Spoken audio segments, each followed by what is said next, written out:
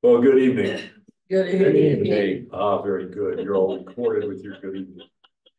Here we are in, in the fourth and last scheduled session, um, of, uh, a letter to the, a letter to the American Church. Glad that you're all here and it's been, uh, just rewarding for me to spend this time with you. So thank you so much for all of your contributions to what we do. And, uh, we're gonna have a good time tonight. I'm pretty confident based on the way things went on Sunday. Come on, there we go. Um, here's all the stuff most of you have seen. Um, I added six people to our emailing list today. Some of those had come in, some of those requests had come in a little bit ago. And I've been backlogged with Holy Week stuff, so my apologies for being slow. Um, the recordings of the previous three are available at the church website. Just at the top, it says um, adults, click on that and then classes and you, you'll find this class and a number of links, both for this class and a lot of previous classes, including one of Pastor Carol Clark's that was recorded back during uh, the early part of COVID. Um, understand that microphone's live. So some of you have occasionally been whispering, thinking it didn't hear you. It did. Thankfully, you were all very nice. Um, and then you, we have people, who, uh, was on Zoom with us as well. They're live right now. So they have their microphones muted, but they're encouraged to speak up whenever they like and we'll be able to hear you here in the room quite well. Um, and you've heard this before. So if you have a question or comment, please do speak. Um, and that's what this is all about. We need to hear one another. Okay? The Lord be with you. Let us pray. Lord God, we come together in a world that swirls all about us with things that we scarcely understand and, and we don't know how to approach. And yet, Lord God, you have placed us here in this time. You have placed us here with abilities that you have given us from the time we were born. Show us, Lord God, how to use those abilities in, in this world that exists so that the Christian message is heard and uh, that love and uh, and tolerance go hand in hand and that we do so with a, a heart that brings about a better world and that uh, we go out and we serve our neighbors in ways that make our, our neighbors um, in, in better shape, uh, raised up to so that they too can use their voices in the name of Jesus Christ our Lord. Amen. All right. And you've seen these things in the previous three classes too. It's not a Bible study that we're doing here, but we are free to apply the Bible, and please do where that makes sense. Um, we'll recognize the Holy Spirit alive in each of us. I keep pointing to Bonhoeffer because that's uh, much of the, the talk here. Bonhoeffer was one in an extreme minority in, in his world. Um, and now we're listening to him very carefully. So if we have a minority voice among us, we should listen very carefully. We don't know how the Spirit is working. Uh, so be respectful from, of one another uh, when we don't agree. And, and there will be places we don't agree. That's just human nature. Um, and we can agree or disagree with Mr. Metaxas, the, the things he's drawn and the interpretations of scripture he has. You're free to do that. Uh, this, again, the Spirit is alive in you as it is in him and we may disagree with one another. But again, we'll do that in the love of Christ. Okay. Um, please, when it's your turn to speak, and everybody gets a turn and many turns if necessary, but please be as brief as you can, just to allow some space uh, for others to speak before it's time to go home, before I throw you all out of here. Okay, any questions? Okay, bless you.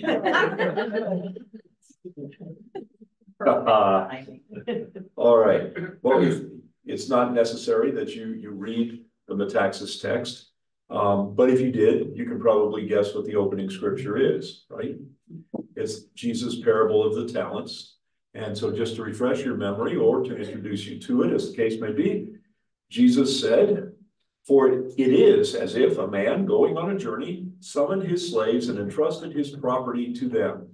To one he gave five talents, to another two, to another one, each according to his ability.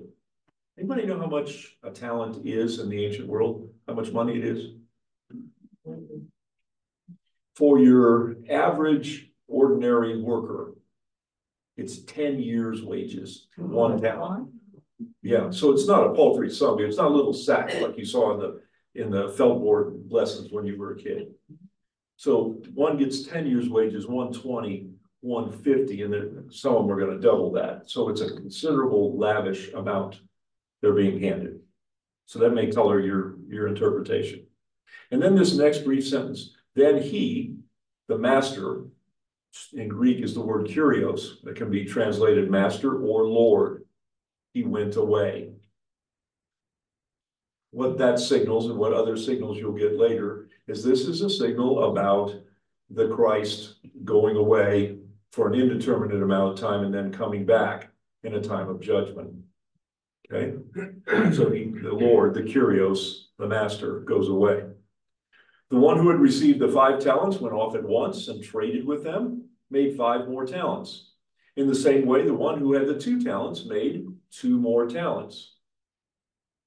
Now you would think, you know, our, our minds are, are key to hear the word talent and think abilities, and you can use that metaphor if you like. But isn't it interesting that these two people with different abilities both double the money? Maybe it's not about their ability at all. Maybe it's more about what the Lord intended when he gave them this exorbitant amount. In any event, in the same way, the one who, uh, verse 18, excuse me, but the one who had received one talent went off and dug a hole in the ground and hid his master's money. Sounds sort of weird, doesn't it? We, we make jokes about people who bury money in the ground. In the year 70, when the Romans came and sacked Jerusalem and, and destroyed the temple, leaving it in the condition it is today. The Romans found buried gold and silver all over Jerusalem. It was a common practice in Jesus' time. So Jesus knew of which he spoke in this, in that little bit of the parable. After a long time, we have the master or lord of those slaves came and settled accounts with them. Time for judgment. Then the one who had received the five talents came forward, bringing five more talents, saying, Master, you handed over to me five talents. See, I have made five more talents. His master said to him, Well done, good and it's the same word as faithful, trustworthy slave. Well done, good and faithful servant. Ever heard that before? The funerals, right? Often. Well, this is at the time of the judgment. That's why we use it at funerals. You have been trustworthy in a few things. I will put you in charge of many things. Enter into the joy of your master. Which is the key phrase. Entering into the master's eternal joy. And the one with the two talents came forward, forward also saying, Master, you handed over to me two talents. See, I've made two more talents. His master said to him, Well done, good and trustworthy slave. You have been trustworthy in a few things. I will put you in charge of many things. Bless you enter into the joy of your master. Then the one who had received one talent also came forward, saying, Master, I knew, I knew that you were a harsh man, reaping where you did not sow and gathering where you did not scatter seed. So I was afraid, and I went and hid your talent in the ground. Here you have what is yours. But his master replied, You wicked and lazy slave. Remember good and, and trustworthy? It's in parallel to wicked and lazy. Trustworthy or faithful in comparison to lazy. So what this parable is about in terms of what the other two slaves did was about faith in action, or in this case, there's inaction, laziness, right? You wicked and lazy slave, you knew, did you, that I reap where I did not sow and gather where I did not scatter? Then you ought to have invested my money with the bankers, and on my return, I would have received what was my own with interest. So take the talent from him and give it to the one with ten. For to all those who have, more will be given, and they will have an abundance. Again, we're talking about faith in action. Those who have faith in action will have more such. But from those who have no faith in action, even what they have in this life will be taken away. As for this worthless slave, throw him into the outer darkness where there will be weeping and gnashing of teeth. I love that G. That's just pretty harsh stuff. That's pretty harsh stuff. But what Jesus is looking for is faith in action. And saying one has faith and burying it in the ground is not, not favorable to the Lord. And this, this is hard to deal with. And when you compare it to what we studied in Revelation not too long ago, it, it has some of the same ring to it here and there. It's not all grace filled, it's judgment filled too. But remember, the grace is up front. The master gave them all that they needed, all that they could possibly need. All he, all he expected was that they would put it to work. And the work did itself, it did itself its own favor by bringing about um, the doubling, if you will. Good. All right. Last time we asked, who do you say God is? Right? Who is God in your in your estimation, in, in your life? Is is God a hard master? Is God one who has you shaking in the knees that if you do something untoward or something unfavorable in God's eyes, that you're going to get whacked or smoked, as the Bible used to say, right? Is, is that who, who God is in your mindset, even sometimes, right? Or is God one who loves you and extends grace and gives you talents? Gives you talents and, and cheers you on as, as you put those talents to work. Which God do you worship? And, and we see the, the comparison of different ways these slaves approached their notion of God in the parable, right? So the parable teaches a number of things, and Metaxas would illustrate these things. Those who risked those that amount of money, those things entrusted to them by the Lord, are rewarded. The ones who play it safe, not so much. Right? Play it safe by burying it in the ground so we don't lose a nickel of it, of 10 years' wages. And Jesus doesn't give us an example of a middle path. Now, there's a lot more to this parable than Metaxas examines. There was a gentleman who came into uh, one of the Sunday classes, brought a commentary with him and, and showed seven, seven different ways to slice this parable, seven different emphases. And Jesus tells stories that are like that. They're tremendously deep as well as broad. And, and Metaxas' point was number three on that list of seven. So there's a lot more to this than, than is being presented tonight. And uh, it won't be too long. And when I'm back on my feet, we'll have uh, a course on parables. And this will be one we'll dig much more deeply in than we have tonight. But you get the sense of this. But Jesus, at least in you know topic number three, doesn't offer a middle path. You're either working as one of, of God's servants or you're not. Some people have different abilities and can work more successfully or or longer hours or whatnot than others, but work nonetheless, given the abilities that God has gifted you. So why does Jesus give us this lesson? had to be shocking to the people of his time standing around him. That wasn't the way the temple cult ran. So, but we're not in the temple cult now. Why does Jesus give us this lesson in our time, in our place? What do you think? We're not to use him as fire insurance. fire insurance? I like that. I haven't heard that analogy before. Would you like to expand on that a little bit? Well, it's the people who say, I believe I'm a Christian. But they've got their fire in, they think they've got their fire insurance and then they go back to living life the way they always do. Yeah. It's basically, oops, don't want to go to hell, so I'll get my fire insurance, but hmm. that's where it ends. It's all talk, no action. Right. Mm-hmm. Yeah, I'm, I'm Christian with my mouth, but not with my limbs. Yeah, any other thoughts? Could that mean the cheap grace that earlier, Bonhoeffer utilized the, uh, the word cheap grace. You Well- believe, so you're saved, so you don't have to do anything.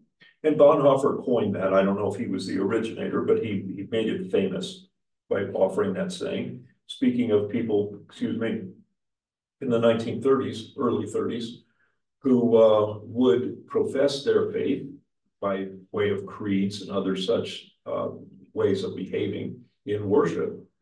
But they didn't live Christian lives and, and didn't get involved, quite frankly, in the world as Christians.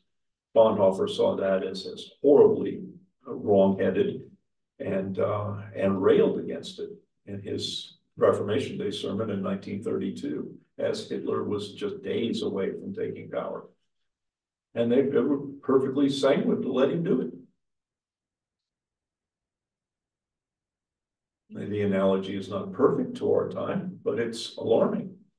Are we the ones who just simply act as Christians for an hour or so a week?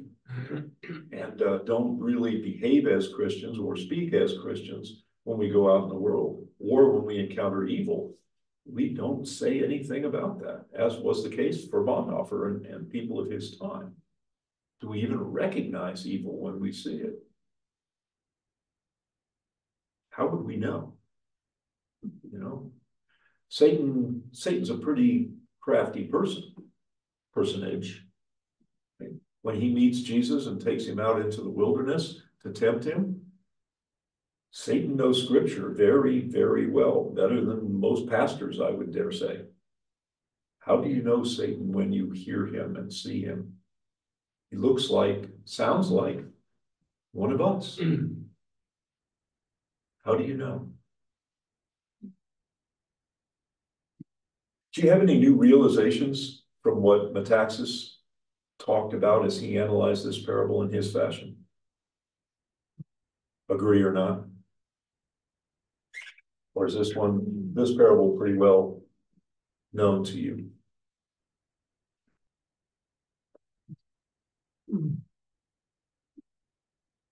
It's pretty well known, but it reinforces the notion that you have all this. All these abilities, resources, what have you, you ought to go out and use them. Did it make any difference to you when you found out how much a talent was in terms of dollar value or, or labor value? Yeah, we don't often spend a lot of time talking about money in the church. Um, but a ten years wages for a single talent. Um, be nice to have ten years wages handed to me in a wheelbarrow or however that's gonna be delivered.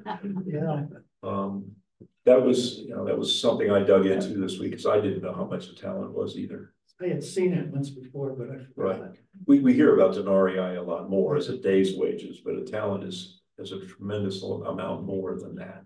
So a normal person in Jesus' time would never see a talent all in one spot, right? But isn't that the way it is with eternity? We don't really see it. We're, we try to reason it with our brains, but we don't see it. And the more we read the word, then we can see it.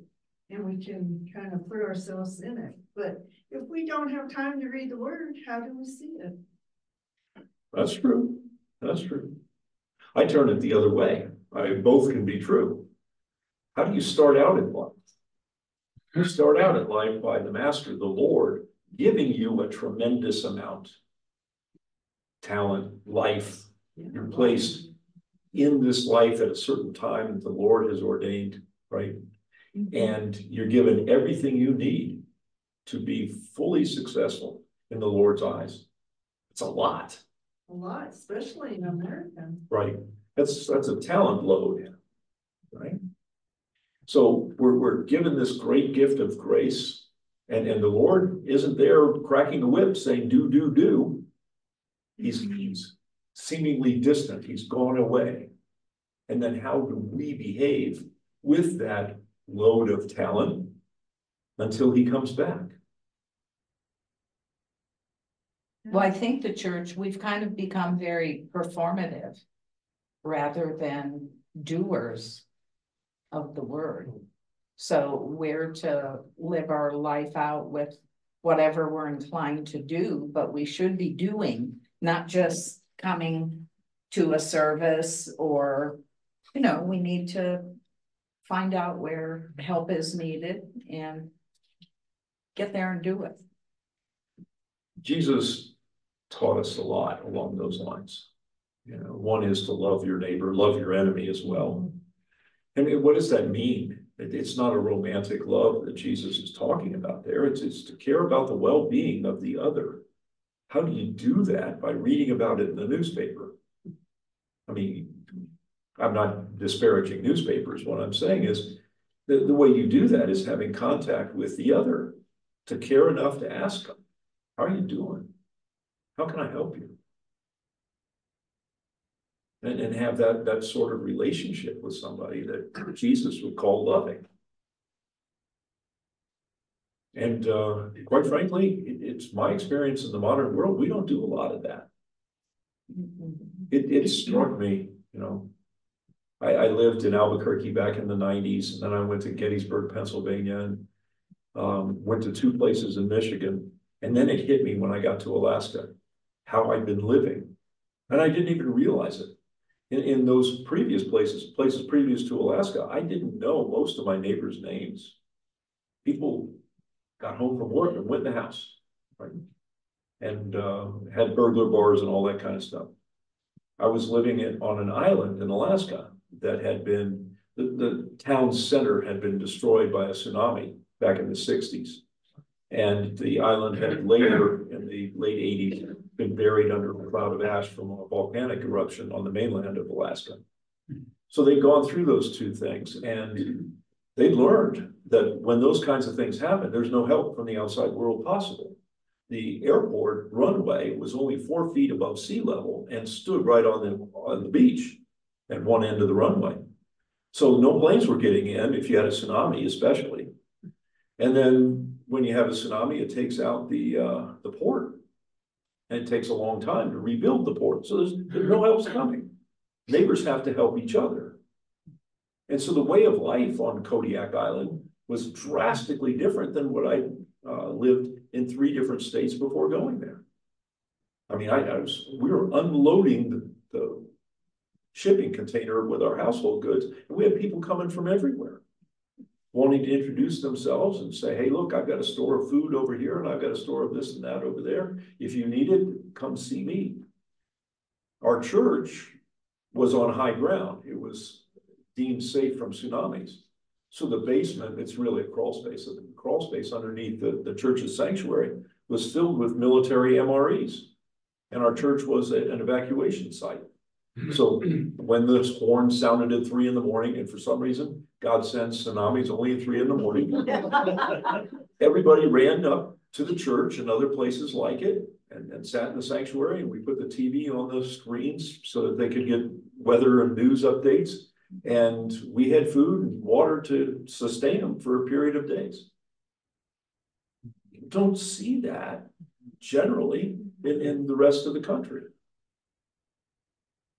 Well, you see a lot of helping when there's other natural disasters. You don't see it here because nothing ever happens. here. There is that too. We are unpracticed. Yeah.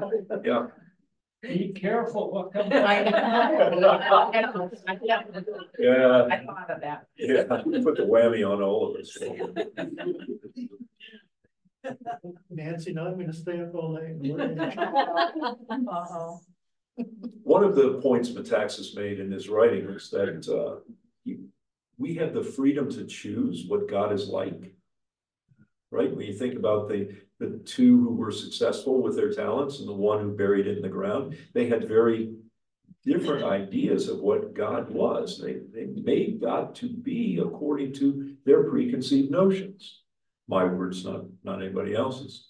Um, if we choose to know and then get to know and love and interact with a God who is grace filled and loving, then grace filled, loving God is ours, right? That's, that's your relationship with God. If you decide that God is that hard master, if, if that's your preconceived notion or your mistaken notion, however you come to that. When you, when you get to that, that's what God seems to be. God's tough when you insist God's tough. Then why would we want to worship God? That's how we felt. Heck of a question, isn't it? Yeah. Uh, In Jesus' parable. Well, in Jesus' parable, there's not much worship going on with that one, with the ten, with the uh, single talent at the beginning. Just have fear. Fear. It's hard to worship what, what you fear, right? And, and we get confused with that Bible word where it says fear the Lord, and it's, it's, you know, have respect for the Lord is, I think, a better translation for that. But, um, if, if you have fear and trembling about the Lord, it's hard to have a loving relationship. Some of us have had wonderful, loving parents as we grew up in our childhood. Some of us had rough and or abusive parents as we grew up. Right? And sometimes that becomes part of our psyche, it becomes part of our being. And then we imagine God to be like an abusive father if we had one. And, and others come to that understanding without having an abusive father. Nonetheless, Have no father. some have no father at all, right? Or mother for that matter, it it goes both ways. But however you come to that, that thought, God becomes a frightful personage. If you're fearful of God, if that's the way you approach the relationship. That was Metaxas point. You guys can help me out. There's a proverb, a psalm that says something to the effect. The fear of the Lord is the beginning of wisdom. Yeah, and that's, It's like that.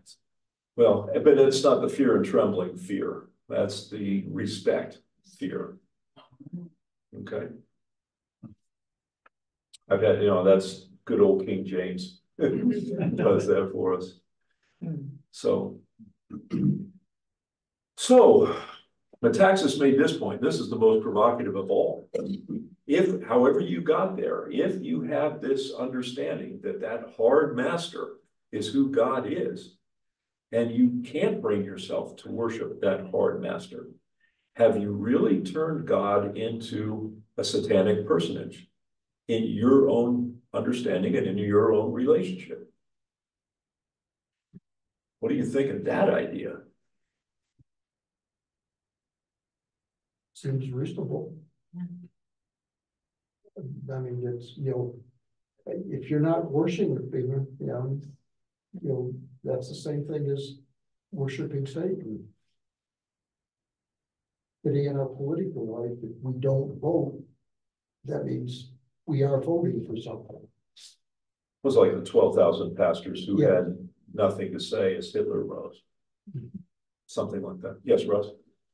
So, so I get, I'm sort of struggling with that. I mean, um, you know, if you, if you look at the Bible, there are times when God, um, was hard on his people. Um, and he did it out of love. Mhm. He was hard. Sure. Um, it- it- so in my life, I can, I struggle with both of those. At times I'm going, okay, you know, why me? Why now? Why this? Um, overall, I think he's grace sharing and loving, but, um, it, to me, it's not black and white. And I really struggle that at times if you, if you have a, if you're feeling that God is being a hard master it's Satan, I just don't get that at all. Um, That's fair. I mean, it's the same thing as a parent, you know, at times you love your children to death, but sometimes tough love is. Love, it's just not what they really maybe think they need at the time. And it's the same as us, in my opinion, so I don't, I personally don't buy that. That you're openly clear. Choosing Satan. Yeah, we, we could probably spend hours talking about, is the personage of Satan, Satan real? Or is it the collection of sin? One, one theory, or is it our misguided worship of the hard master? You know, there's all these different theories that uh, are unresolved, and we could spend a lot of time on that. But let me try, let me try this to address what Russ said in part. It's my favorite original parable. So some of you have heard it. When, when a toddler is in your family, right, and a toddler comes into the kitchen at mealtime. You begin to teach the toddler how the family approaches mealtime, right? You give them a fork and a spoon, not a knife. In the fork and a spoon, you so, show them along with a napkin how those things go alongside the plate at the table, and this is how we set the table, right? And when the child gets that right, you throw a big fuss and you give them a cookie and you, you reinforce this good behavior, right? Next night, same toddler comes into the kitchen, sees this pretty blue flower that they want to pick and give to mommy. And they go to pick it, but it's the gas flame on the stove. You Slap their hand and you say no. Slapping the hand and saying no is every bit as loving an act as reinforcing the setting of the table the night before. So in, the example that, that Russ gave us, it's very accurate. Sometimes God had to say no. He didn't unlove the people. And they probably smarted from being told no in the way they were sent into exile or whatever the example is that you wish to pick. But God didn't unlove them. So can, can you recognize when your parent says that these are the bounds? This is beyond good behavior, even though you really want to do that which they said no to, that your parent still loves you? Sure, until the parent becomes abusive, right? There is a line to be crossed. Metaxas kind of expounds on this at the bottom of one thirteen. He says, have you chosen, he says, you chose the God whom you chose, and that God is your God. Have you chosen the true God or a counterfeit? If you have chosen the counterfeit, behold, you have chosen Satan. Right. So I interpret that if you don't see God as loving, but who will uh, discipline for better responses, just like a parent does. If you're seeing him, I would guess maybe in your analogy, as being uh, abusive, so it crossed the line, then truly you would have to admit that you have chosen wrongly about God. At least that's my take. Where he was driving. Now, we can, again, be free to disagree with him, and that is, that part of it is, is a tough take, to be sure, Yeah. it's a different concept. okay? I saw, I, I interpreted the, uh, the original Bible, uh, the Old Testament. As a God that is a little bit more, uh, harsh or, or. Slapping your hand when you're going to the flame. Hmm. But when it comes to the New Testament, and Jesus is there, the Son of God. He preaches nothing but love, or at least that's what it seems like. He does, Now, that could be that maybe God is softened or changed, or maybe in the Old Testament, we weren't getting it, or they weren't getting it, and he had to be a little stricter. But within Jesus' time, when he's there with us, it seems like he was just preaching, preaching love. he was when he preached, but he was also witnessing in the streets. Mhm. And sometimes in the streets, he was pretty harsh. Go and sin no more, right? Don't do that again, Right. sort of thing. He, he didn't cast anybody into the outer darkness where there's weeping and gnashing of teeth, but he tells the story that it's cautionary. Be careful or that's where you could be, right? Goes into the temple and he up- upsets the entire temple cult at Passover time by, by turning those tables over and getting rid of the money changing operation that was going on. It's a harsh operation. And I have to be careful. Get behind me, Satan is not a passing little phrase. It is harsh. It is real harsh. You know, I wondered, another passage you read is from the New Testament. So this throwing out the money changers. You know, you think of that one fellow, the his one talent. God, I look at that and I think, okay, he was a little scared. To be thrown into outer darkness, wow. That's something else, and then the money changers, yeah, they're making money in the temple. So my point is, if Christ is harsh on these type of transgressions, I wonder what he thinks about what's going on in our country today. Well, that's where Metaxas drives. And that's the question that we have to constantly wrestle with, right? I mean, all through history, but this is our time. So we wrestle with it now. We have the example of the nineteen thirties, but it- nothing is perfectly the same, can't be. But we have to wrestle with that now. And I'm not saying, I, I know precisely what evil is and is not in our society, but we collectively have to wrestle with that. We have to wrestle with that in our homes, in our communities, in our state, in our nation. I think it, it's one of those things we have to constantly put our talents to work at. Sorry about mixing that up, but I think we have to constantly be doing that. If not, it's to our peril. It's when we get fat, dumb and happy and sit in the Barcalounger that problems crop up. Our faith is not in action at that point. And he gives us choices to make. He told the woman, go and sin no more. Now, she had a choice to make. Yes, ma'am. And, And uh, God gives us the free will to make those choices. Choices, well, And that in itself, I believe, is an act of love, yeah, because a harsh master would say, you're gonna do thus and so on Thursday, you know? but he didn't. No.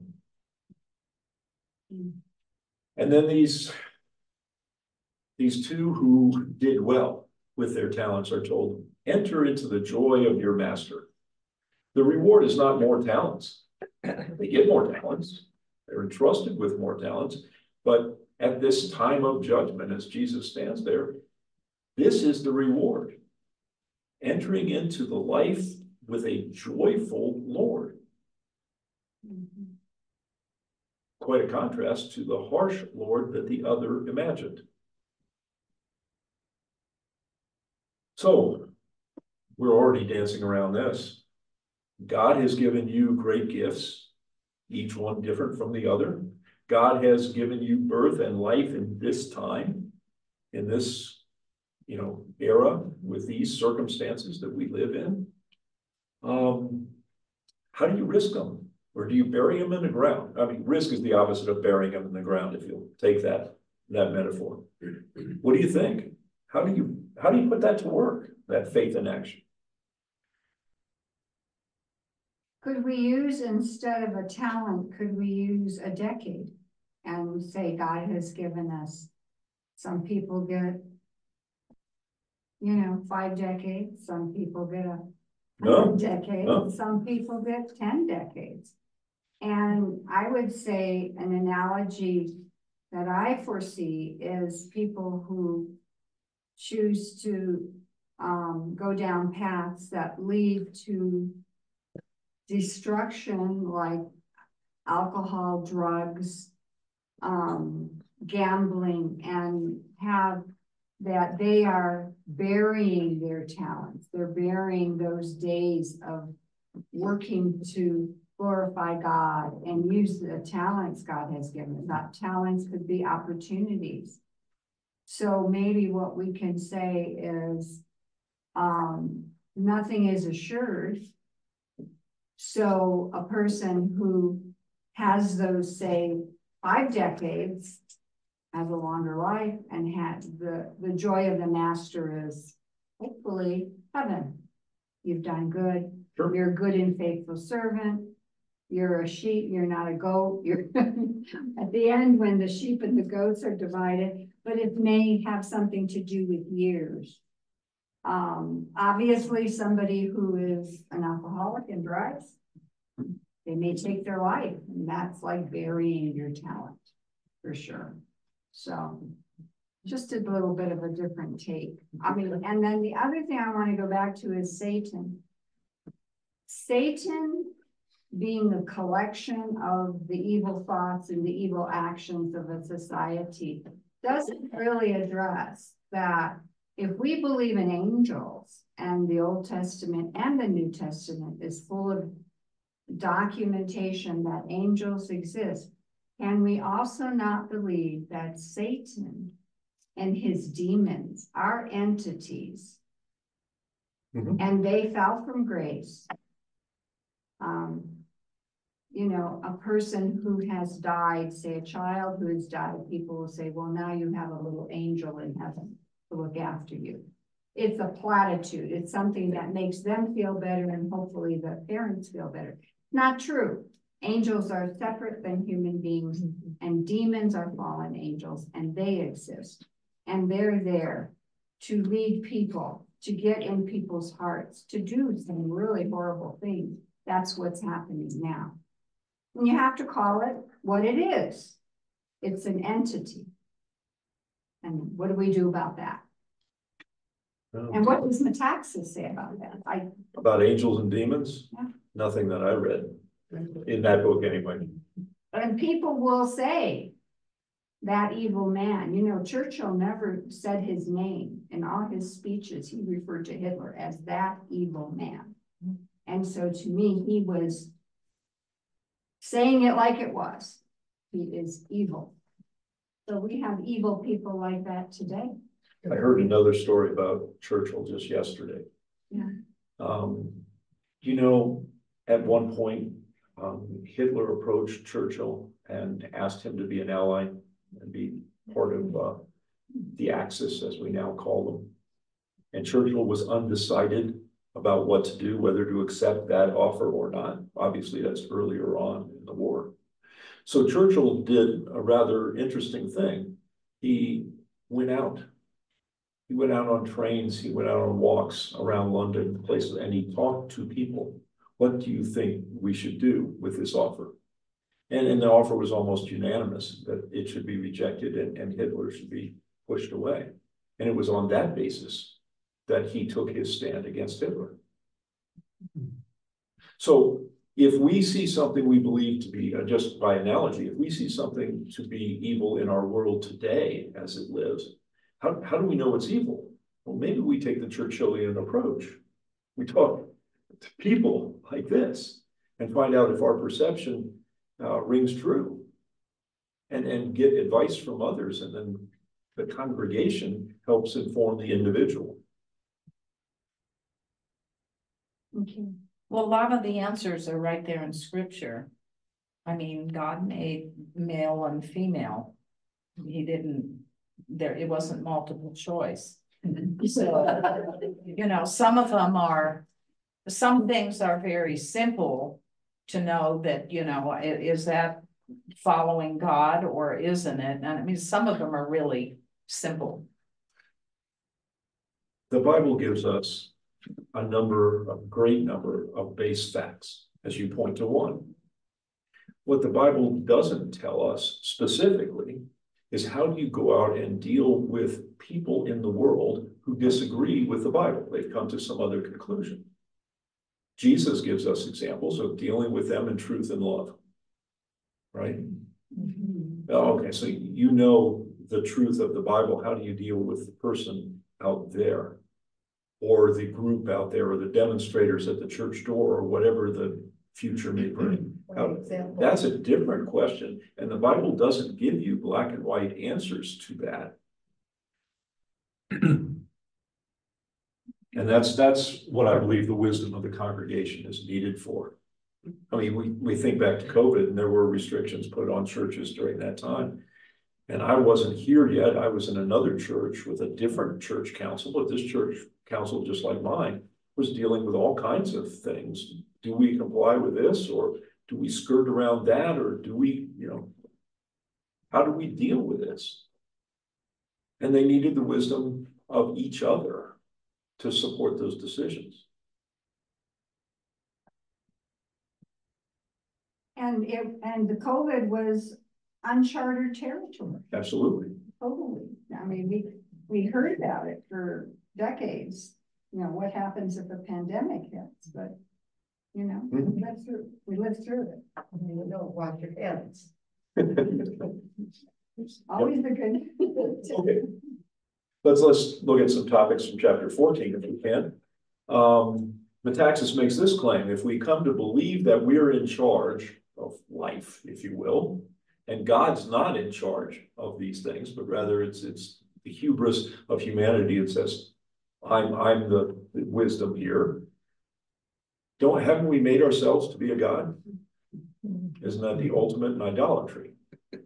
Right? What do you think about that?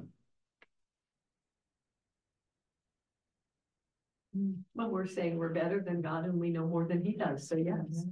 We've made. When did that start, when did that start in humanity's, well, in the Bible's record? Adam and Eve. Adam and Eve. The. Adam and Eve, if- if- and the serpent said, you eat this, you'll be a god, right? And it, it kept going. Because we didn't want to hear God. He was making all that noise on the mountain with those six hundred and thirteen commandments, not 10, 613. Didn't want to hear all that. Moses, you go listen to it. We don't want to hear it. We'll stay down here.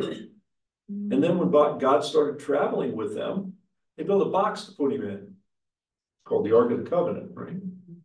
Keep God in the box, it's a lot safer for us. We can do our thing out here. Humans have been doing this all along. And Jesus absolutely rejected that idea.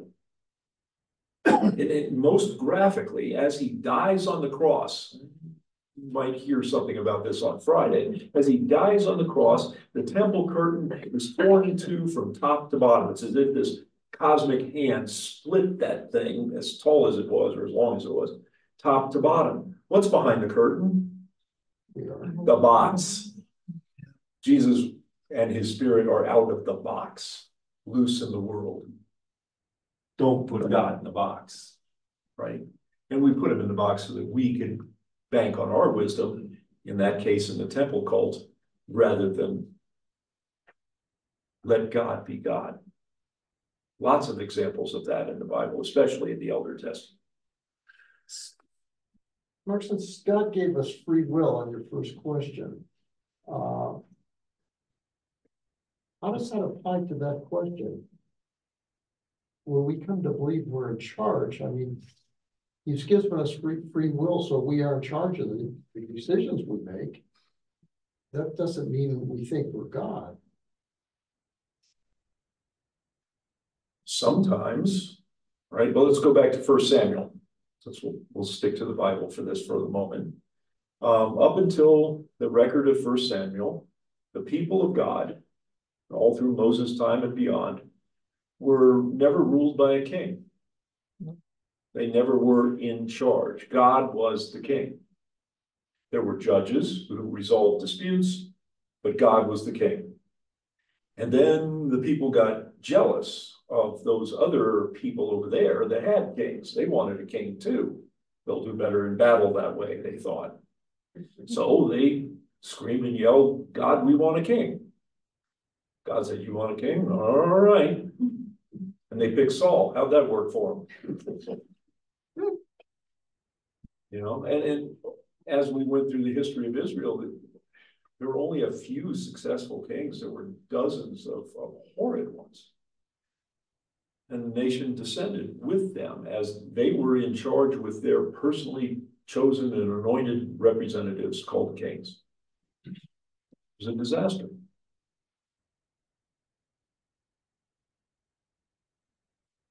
In the founding of this nation, as I read the founding documents, the idea was that rights, those things that, that we should do and, and avoid doing, those things flow from God.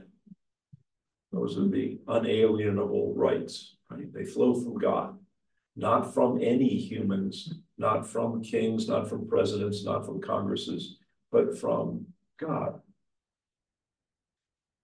And, uh, you know, if, the one thing that keeps me awake at night, and I sleep real well, but the, the one thing that can cause me to lose some sleep is the wonder, are, are we losing that as a society? That, that God reigns in, in what is right and what is wrong, and what we're uh, commissioned to do by God. Are, are, are- is the humans, are the humans taking over and pushing God completely out of the direction of this nation or this community or pick any division of, of collections of people you want. Seem to be trying to. Well, it's, it's been a two hundred year process. So Just like Israel was on a long death slope for much of its history. Um.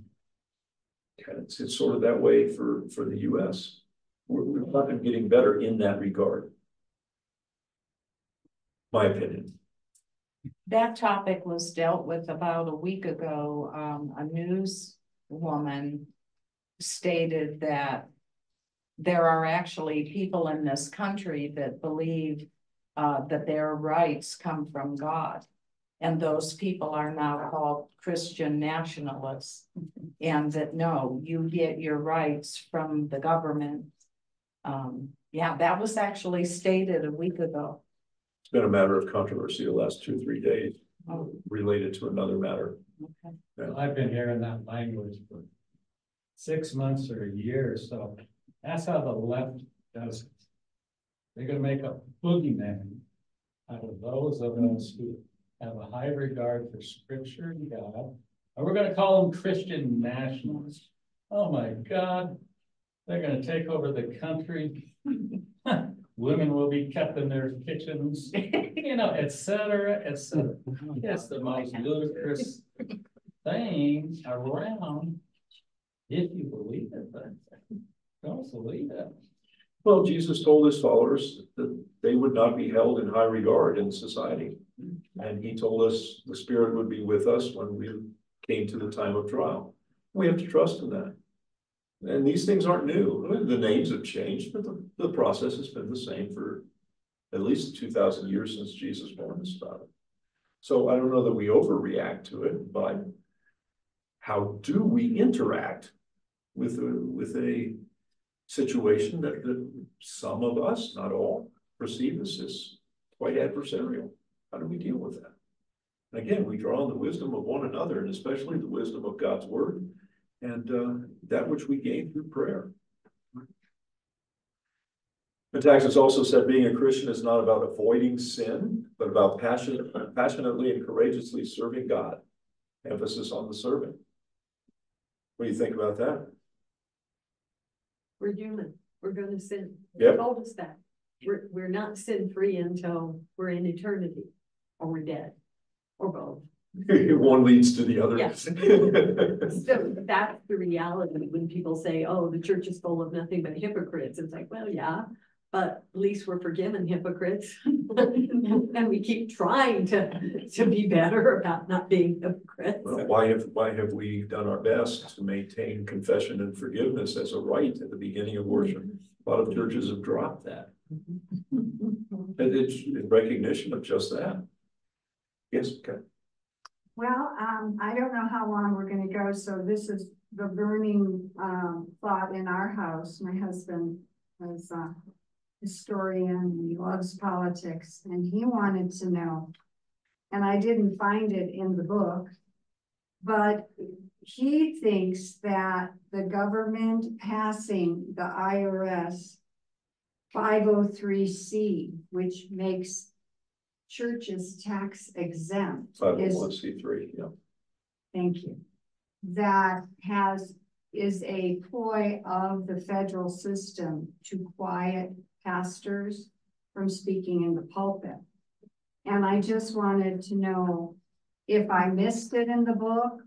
It wasn't in the book. Okay, and I just wanted to know is, I mean, if, if, if you and people at Faith came out against, let's say, the transgender issue from the pulpit, and would you lose the tax exempt status No. for our church? No. Um, if the, the Johnson bill that was passed in nineteen sixty-seven, um, when he was still in the Senate, um, Fifty-seven. fifty-seven, excuse me, fifty-seven, said that if we enter into political campaigns, that is um, advocating for this candidate or that, or for um, voting for this bill or that, if- for those on the public ballot, those things would put a church or any nonprofit subject to losing their nonprofit status. But coming out to speak about social issues is not one of those concerns. So You know, my- churches that are, excuse me, Carl, um, just uh, uh, in that thinking, so a church that would come out saying, we are against abortion. Mhm. They would not lose their tax Correct. exempt status. Correct, well, the Roman Catholic Church historically has always said that and never lost a tax exempt status. That doesn't mean they wouldn't try. I mean, Well, I mean, it- you would face perhaps a, a good bit of, uh, counter verbiage in the press and in, in other places, but you will not lose your tax exempt status. Know, I think the left realizes. The fight over taking away the tax exempt status of churches is a losing cause. I think they have moved on. Especially like in France, Canada. That if you say from the pulpit, transgenderism goes against the very word of God. It goes against the human nature. There could come a time in the States, that minister could be thrown in jail for hate speech. So they have substituted this thing about losing a tax exempt status. And substituted hate speech, and I think in lots of ways, that's really dangerous. There are times, and they're, they're rare, please, please hear that, there are times when a person must choose. Shall we please God or shall we please the demands of man? And, uh, when those rare times surface, one thinks about the weeping and gnashing of teeth, right? Okay. Um, I'm not gonna spend any time on this, just to refresh your memories. Um, Metaxas talked about this, I think it's mythological. Um, situation where a Gestapo agent is coming up to the front door of a German Yeah, home and saying, do you have a Jew in your basement? And well, we, we can't lie, right? God will punish me for lying. Uh, but if I say, yes, I have a Jew in my basement, I've just condemned somebody I was trying to save to death, right? What do you do? What's the moral thing to do here? Um, so would God forgive us our bearing false witness by saying, no, no Jew here? And of course, and the answer is of course, right? And it's what once upon a time was called the little white lie. Probably can't say that nowadays. But, but you get the idea, right? If, if, if God is that evil master or that harsh master, I shouldn't have said evil, harsh master. Um, no, I can't tell a lie. But, you know, we, we have to understand the, the greater good happens and God has put us in place for the greater good, right? And that was Metaxas point. Um, but what about when the state itself becomes evil? I, I don't want to get into specifics of, of a government, state, local, or federal at this point, but generically speaking, when, when the group of us having consulted together come to a conclusion that, um, a governmental entity is evil, what then? What does the church do? Does it worry about tax exempt status? It shouldn't.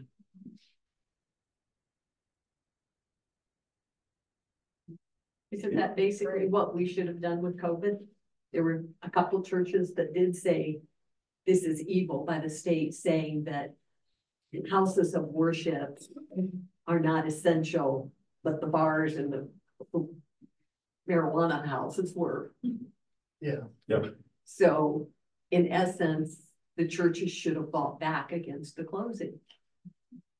And as you say, some did, some did not. And it's the same, I think, dynamic that led to the division of pastors in, in uh, Bonhoeffer's time. Um, There's, yes, please, Russ. So. Back to a comment I mean, probably first or second session. All of the different, many of these different statements here about different examples. um, We seem to be, to easily say it's evil. Um, I can probably make an argument on every one of these. That is a Christian argument that would support that decision that was made. Do I agree necessarily? No. But for us to state that the entity had an evil intent, that bar, in my opinion, is extraordinarily high. Mm-hmm. Because I am not God. I do not have all the information. I was not sitting in the seat for the shoes of the person that had to make the decision at the time when they made that decision. Maybe they made the wrong decision. Maybe not. But for me to condemn an entity or a person as evil, I struggle with that. And we can do that really easily. And we can fall down a path that you had on the previous slide about, I'm God. I know mm-hmm. they're evil. How do you know? You've got to be really, really, really sure. Many of these issues are extremely complicated. Extraordinarily complicated. And And I can go through many of these, which we have done studies in my previous job. That you can argue maybe it's wrong decision, but it supports. What happened in COVID in this state, see it's the right answer. But for us to say that that's evil. And that they were targeting.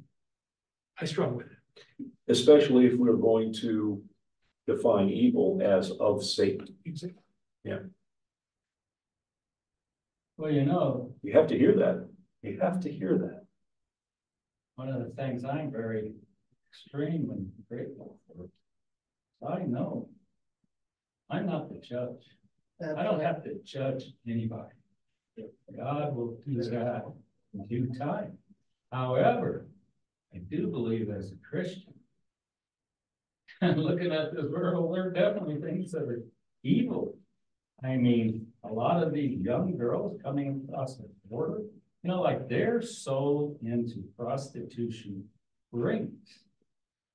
You look at the transgender movement, which is being forced down our throats and into our kids' grade schools. I think that's.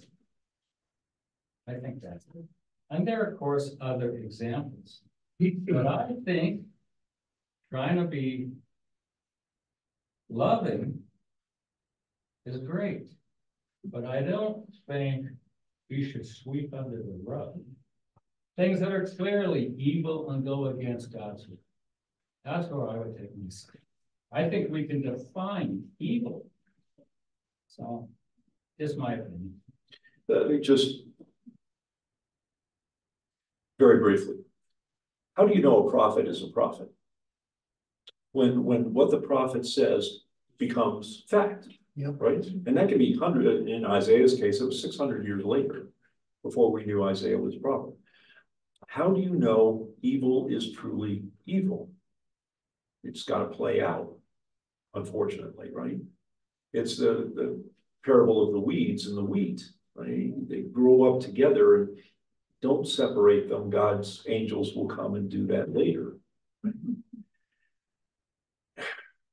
How did Bonhoeffer, uh, almost alone, but certainly a, a tiny minority among pastors, let alone Germans, see Hitler's rise and the Nazi rise as evil? I think that that's pretty rare to be prophetic like that. So how do we know? How do we know?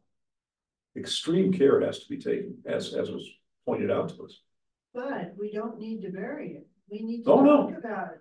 Oh. And that's what, what Oh, I'm hearing a lot of people are doing. Let's not talk about it. We, we're not gonna step on anyone's toes. Right. And then that's what the next point, in the next chapter in part was. Uh, you know, we, we shouldn't be just here for the motions on Sunday, right? That's religiosity. And, and, and it serves no earthly purpose other than to make us feel like we did our duty or some such thing, right? Um, we should be working to, to do Christ's will with every breath we take. Does that mean we're gonna get everything right? No. Does that mean we're gonna identify every situation perfectly? No, and we better recognize that. That we're not going to do that perfectly. Therefore, we, we do it carefully. And we do it with God's guidance and let God be the leader instead of us taking the lead and uh, making of ourselves a God. Right? Again, And to to the comment you made earlier about we talking amongst ourselves, I think is spot on. But in addition, we need to talk to those who we don't agree with. oh, sure. And that conversation that we talked about earlier, in love, in understanding, to truly learn. To understand a different point of view. You, we may not agree with it and we may have some changes. Or we may say, you know, I didn't understand, I, I see your point. I, may still not agree, but now we have a more common understanding and you have the opportunity to change minds. As opposed to those who are all of the same. So not only us talking to ourselves, important to learn amongst ourselves. But to go out and have the conversations with those you probably wouldn't be comfortable talking to. Yeah, Well, that's essential. I used to teach critical thinking at college. And By golly, it's just like two people getting divorced. You just listen to one side, you only got half the story. Exactly. But again, I maintain there's clear cut instances of people. I'm a father of two daughters. I can't believe.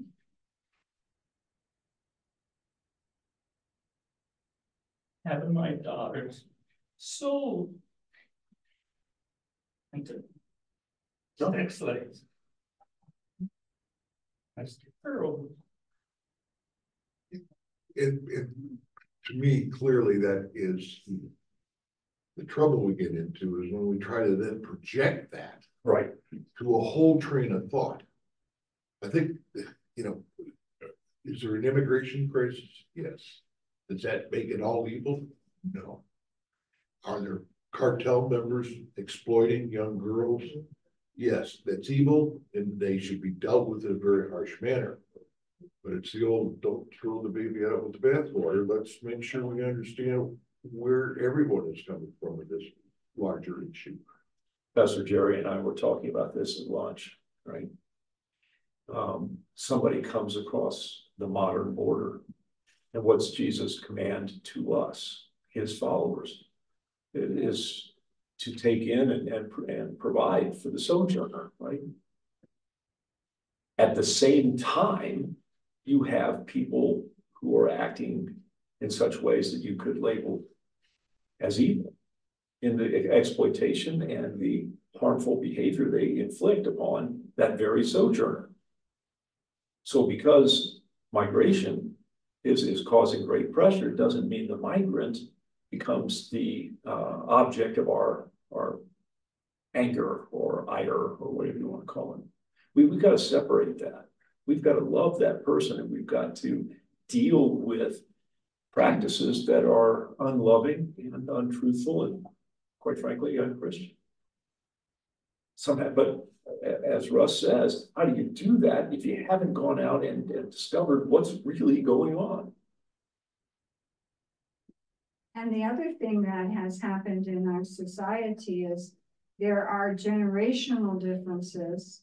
In that when I was going to Michigan State, uh, we would have speakers, but we would have speakers from both sides.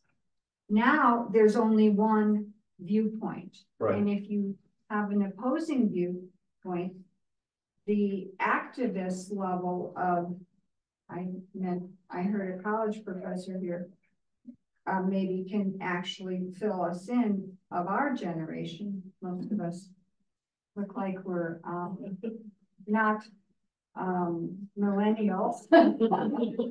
But again, just by labeling them, there is some kind of judgment there. But in general, we had an ability to be tolerant and listen to someone else.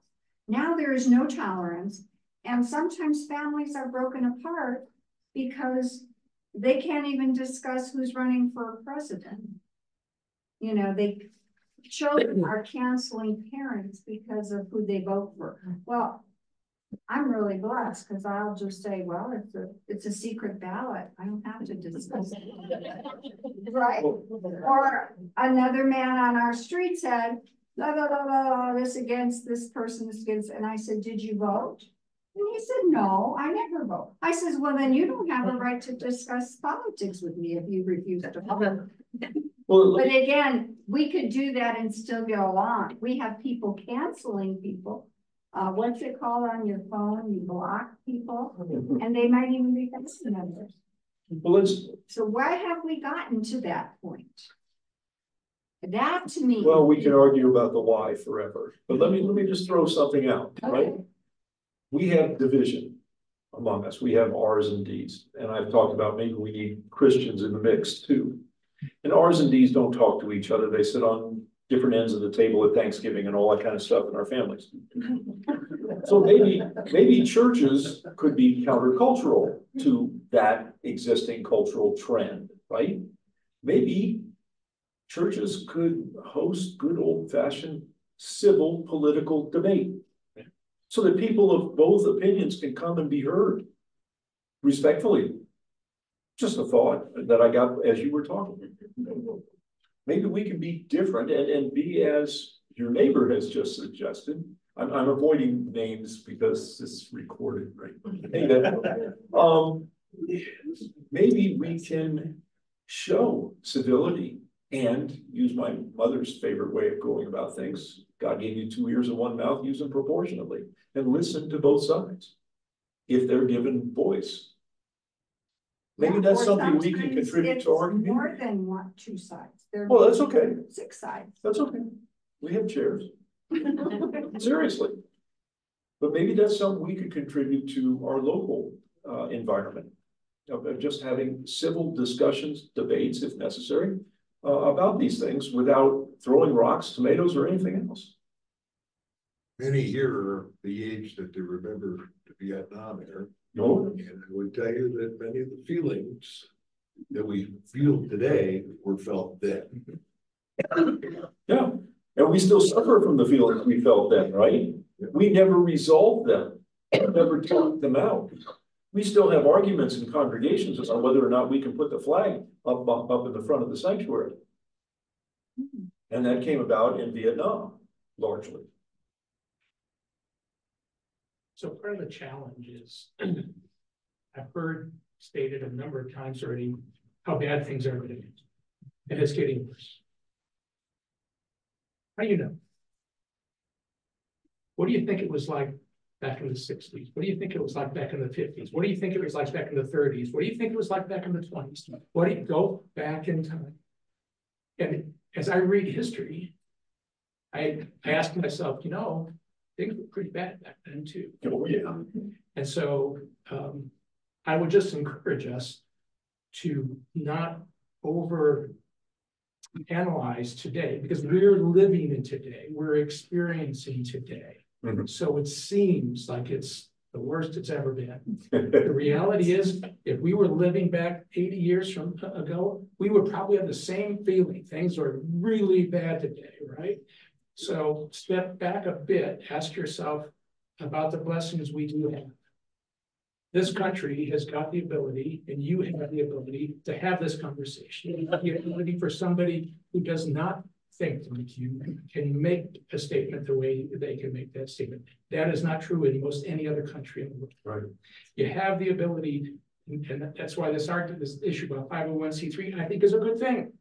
Because otherwise, we would begin, in my opinion, people being people, we politicize the churches.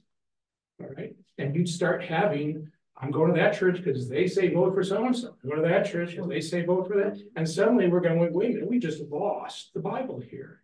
Okay, so that's my own view on that. Yep. The point is, is the separation of church and state, your ability to have an unalienable right to speak. Mhm. Even if I don't agree with you, is a wonderful thing. So let's use it right. Let's protect it. Protect it and use it right, because I think we've abused it and I think we've gotten lazy. Well, I think, I think your. Your ability to point out the way things have been at other points in history is tremendously valid. And, and uh, what I hold up right next to that is God put you here now. He didn't put you here during the Depression or during Hitler's rise or during the Civil War or any of those things that were horrible. Put you here now. So we must deal with the situations we have now as Christians in truth and in love. That's it. And has it been getting worse? No, that's subjective. That's not an issue of the church. God put you here now.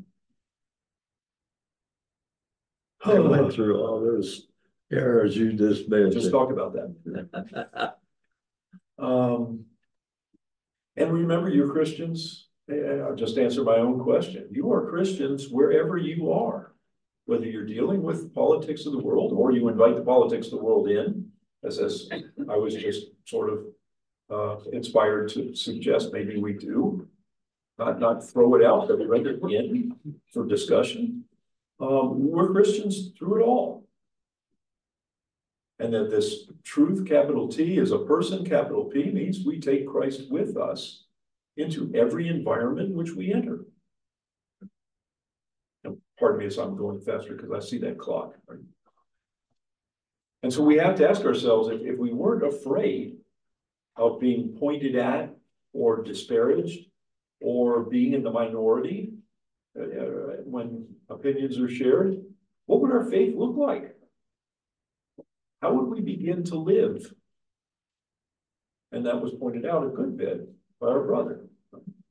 A good bit. How would that look? Again, two ears, one mouth, right? Good place to start. It'd be very freeing because we'd have no fear. We wouldn't worry about things. We, we just live abundantly. What do you have to fear? Jesus died on a cross for you, for a reason, so that you wouldn't have to fear. You don't even have to fear death. Now that's, yeah, I get, it, I get it. That's pie in the sky. That's stuff right out of seminary. But that is the truth. It is the truth, but our emotions override the truth all too often, right? And so we're afraid to speak. We're afraid to listen to a counter viewpoint. We're afraid to deal with our world. And Overcoming that fear, is our biggest problem. It's our own emotion.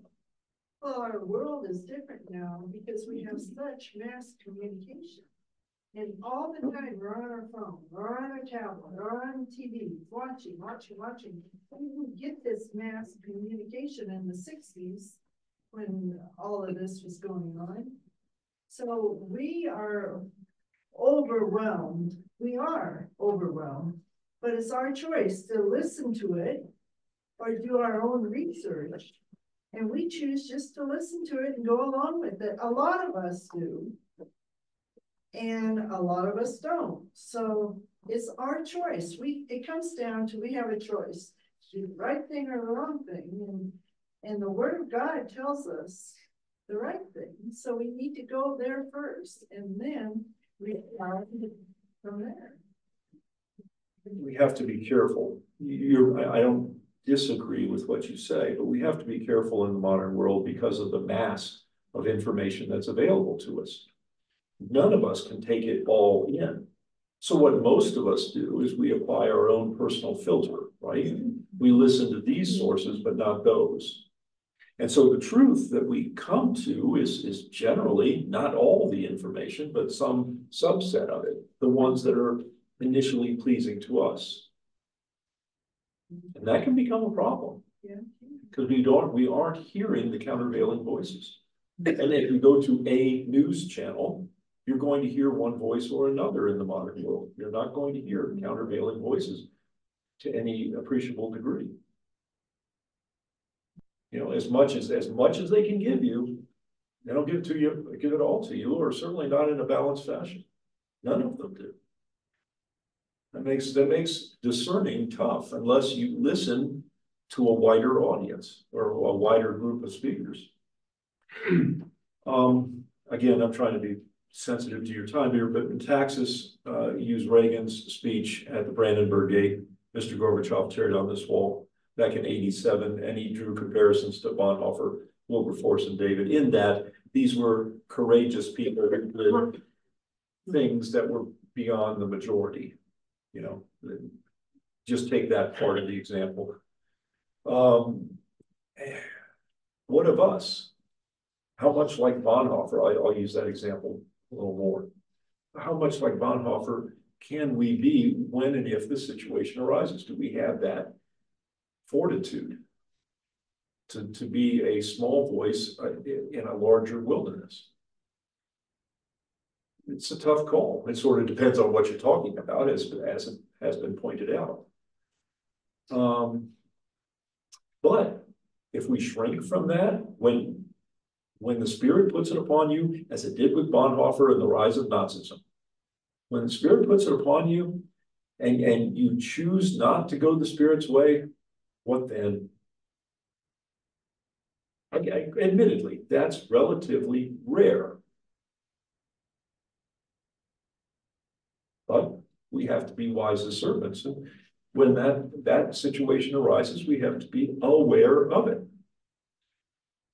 I think we can add Ronald Reagan's name to that, uh, that list of Bonhoeffer, Well, it was- David and others, because I was teaching in California when Reagan turned the Soviet Union an evil empire.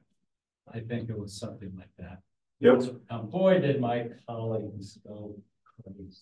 They went off the rocks. So that's why I, I mean, I really admire Reagan coming out and speaking the truth. Even perhaps it was popular in all sections of the country.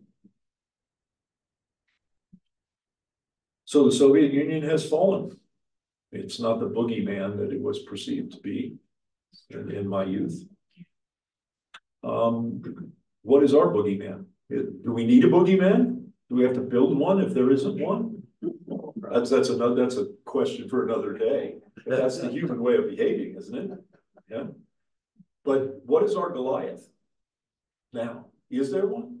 TikTok. TikTok. Um.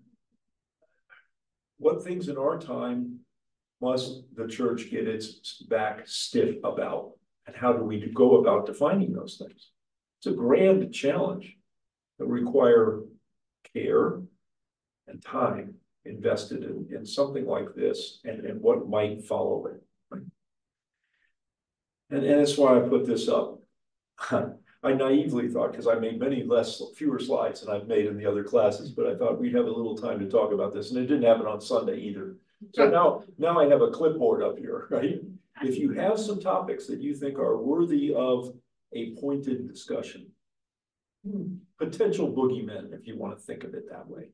Um, come and put, put it on here, or send me an email if you'd rather do it in that fashion.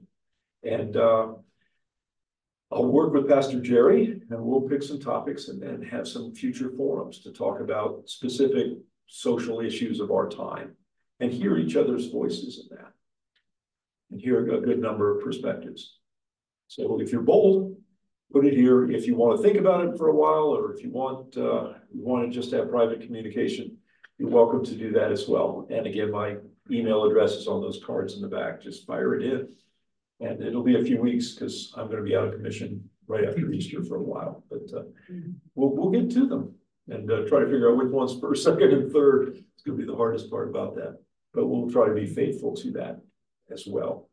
Let, let me close with some scripture. Scripture you have heard, actually, one person in here has quoted at one point. Um, a mini parable that comes out of Matthew's gospel where Jesus said, you are the salt of the earth. But if salt has lost its taste, how can its saltiness be restored? Now, the chemists among us will tell you that salt is salt and it doesn't lose its saltiness. Jesus is making another point here, not the chemical point. If something loses what it was intended by God in its creation to be. That's what he's talking about here. It's no longer, if that's the case, then that which God created is no longer good for anything in God's eyes, but is thrown away. And we, so if you are salt, what did God create you to be? And if you're not being that, what then? That's where Jesus is going. Loving and truthful, I think, is top notch and what God created you to be. And then immediately following that is another small parable. You are the light of the world. A city built on a hill cannot be hidden. No one after lighting a lamp puts it under the bushel basket, but on the lampstand. And it gives light to all the house. In the same way, let your light shine before others so that they may see your good works and give glory to your Father in heaven. Anybody heard verse sixteen before? Yeah. Yeah? Anybody want to say where they heard it? When the uh person being baptized is handed a candle? That's, that is where it comes from, Matthew um five sixteen. Are, are, you know, these are the things we're admonished at the time we become a child of God. Are we light to the world? Not hammers, light. Are we bringing God's perspective in a loving and truthful manner into the, the public discourse? That's light. But it's fun to be a hammer. So- Just My father- occasionally. My father used to say that. He said everything can be fixed with a bigger hammer. My mother had to take his hammers. I like it. Ah, but I leave you with those thoughts. Because uh, as was said, these are the things we have, we have to consider. And um. These were scriptures that uh Mr. Metaxas actually closed his uh discussion notes with. And I think we should, we should hear that and we- should live that best we can. Fine. The Lord be with you. Let us pray. Lord God, you know what you made us to be. Servants of Jesus Christ who go out into the world taking his truth and love to every situation we find in our families, in our neighborhoods, our church, and yes, in the world, the greater world around us. But Lord God, fear is why we don't do that as well as you have made us to do. We struggle we, we worry about what somebody's gonna say about us, or what they're gonna think about us, or how they're going to treat us. Lord God, help us not to worry about these things as much as we do. But instead, to worry about the well-being of our neighbors. And when we worry about that, we will offer that love that you put within us and share it with others, so that Jesus Christ may be more widely known and more deeply loved. Lord God, send us now out into this world to do just these things. As you admonish us on Sunday, you admonish us now. Let us go in peace and serve the Lord. Thanks. Thanks be to God. And good night to you all.